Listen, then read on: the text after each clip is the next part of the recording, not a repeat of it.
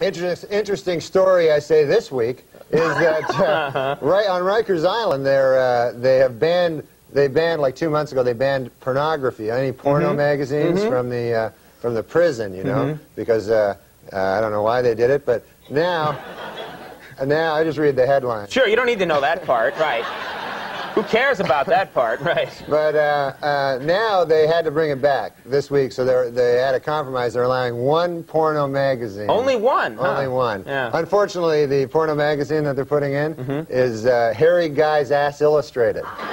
Really? Well, if you're going to only allow one, I would think Yeah. that's the one, you know, probably.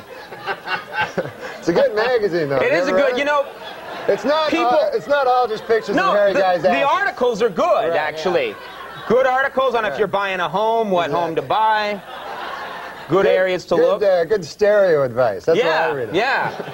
Killer crossword puzzle. It's just a good publication. All right. See, I just, I just read it for hairy guy's ass. Well, see, that's you, Andy. Just Yeah. people are all different. He was telling me Yes. before the show. The last week he went to the Hairy Guy's Ass Mansion.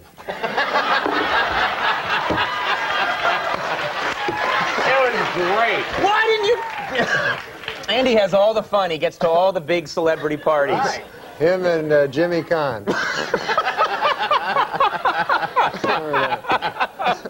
All right.